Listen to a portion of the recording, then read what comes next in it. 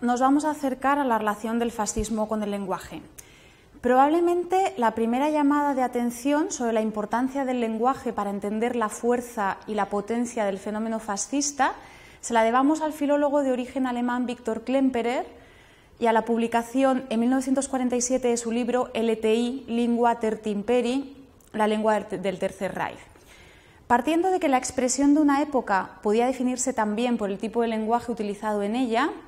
lo que planteaba Klemperer es que buena parte del éxito del nazismo habría residido en la particular alteración y uso del lenguaje que había llevado a cabo. En ese sentido, continuaba Klemperer, la propaganda más efectiva del régimen nazi no habían sido ni los discursos de Hitler, ni el control de los medios de comunicación que había llevado a cabo el régimen, ni la ocupación con emblemas y mensajes del espacio público, sino que la propaganda más efectiva había consistido en la transformación del lenguaje que el Tercer Reich había realizado y que había logrado inocular de manera inconsciente y sutil en la conciencia de los alemanes. Klemperer, de hecho, utilizaba una metáfora muy potente, que yo creo que además es muy gráfica. Él decía que las palabras eh, son como una dosis de arsénico. En principio uno no nota el efecto, pero luego, poco a poco, comienzan a manifestarse, eh, cuando ya es demasiado tarde, su efecto tóxico. Entre las características que señalaba Klemperer como propias de esta LTI, de esta lengua del Tercer Reich, estaban eh, rasgos como la repetición de determinadas palabras, esa continua apelación a ciertos tropos repetidos insistentemente, cambios en los signos de puntuación, el uso de siglas que apuntaban a una tecnificación del lenguaje, etc. En definitiva, como decíamos, la transformación sutil de la lengua con efectos devastadores, planteaba Klemperer. El apunte yo creo que es muy interesante porque nos alerta de cómo el lenguaje fue capaz de crear una realidad política en la que el ejercicio de la violencia estuvo legitimado, incluso el ejercicio extremo eh, de la violencia, eh, en el que se llegó a plantear la solución final en el caso de Alemania o la durísima represión de guerra y de posguerra que se produjo en el caso español. Lo que yo creo que nos enseñan trabajos como el de Klemperer es que la despersonalización continua del enemigo, la apelación a retóricas salvíficas, el tener esa misión de salvar a una nación degenerada, el naturalizar la violencia como ejercicio redentor,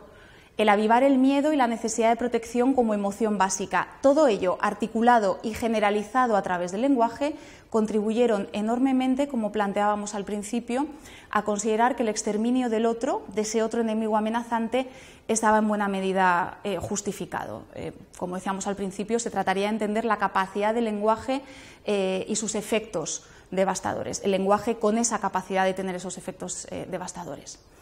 Más allá de este punto de partida que yo encuentro muy sugerente, las investigaciones sobre fascismo y lenguaje se han centrado en el estudio de diferentes cuestiones, que son las que me gustaría enumerar. En primer lugar, un ámbito importante de trabajo ha sido el análisis de las metáforas que se ensamblaron en los discursos, especialmente en los discursos de Hitler eh, y en el Mein Kampf. Eh, se han destacado, por ejemplo, las metáforas corporales y biologicistas utilizadas por el nazismo, esa idea de conceptualizar a la nación alemana como un organismo y el hecho de concebir y de conceptualizar a los judíos como parásitos, microbios, eh, gérmenes causantes de enfermedades que estaban amenazando la salud de ese cuerpo sano, eh, que era el cuerpo nacional alemán y que por tanto debían ser eliminados. Esto ha sido especialmente trabajado eh, por lingüistas e historiadores políticos. Una segunda cuestión que también se ha señalado es la potencia movilizadora que tuvieron unos discursos atravesados y plenos de retórica militarista que dotaron al lenguaje eh, de continuas apelaciones al arrojo, a la fuerza, a la valentía, a la acción, en definitiva, apelaciones que connotaron a la concepción eh, política que tuvieron los fascismos con ideas de lucha eh, y de fuerza que justificaron el uso de la violencia. En tercer lugar, otros trabajos se han centrado en la cuestión del estilo, por ejemplo, la sobreadjetivación eh, o el carácter movilizador de los discursos, formado muchas veces con pocas ideas, pero ideas muy efectistas, intentando entender la seducción y la eficacia que tuvieron estos discursos. Por último, un cuarto conjunto de trabajos han estudiado las palabras fascistas entendidas estas como símbolos, intentando reconstruir qué significaron o cómo se utilizaron y con qué efectos y por qué determinadas palabras simbólicas. Eh, por ejemplo, la idea de caídos, el hecho de denominar eh, a los muertos como caídos, como luceros vigilantes, la apelación al presente como grito reglamentario, eh, la concepción de una idea lineal pensada siempre hacia el futuro, esa idea de revolución futura que se manifestó en gritos que aludían a estar en pie, ir hacia adelante, estar en movimiento, ir siempre de frente. En definitiva, lo que nos enseña el uso del lenguaje es que, lejos de ser un aspecto inofensivo o carente de importancia, su estudio nos permite profundizar en la comprensión del fascismo y, sobre todo, sus efectos, sus características eh, y algo esencial, que es el uso de la violencia indiscriminada como uno de sus rasgos más característicos.